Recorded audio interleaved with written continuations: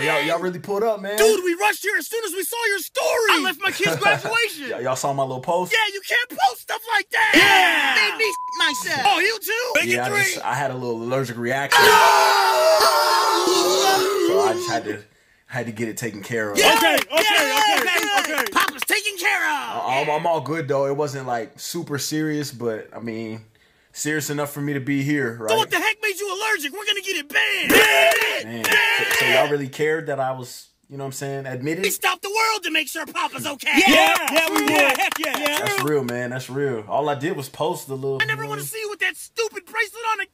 Yeah, yeah. That, that's, that's love, though. Y'all really care about my, my well being. Well, your well-being is our well-being. Yeah, you should know our lives revolve Yeah, around yours, sure. Bubba. Duh. That mean a lot to me for real, man. I just, uh, I don't know when I'm gonna get out of here. Hopefully, I'll get out by the night. Oh no, no, no! We're gonna get you the hell out of here right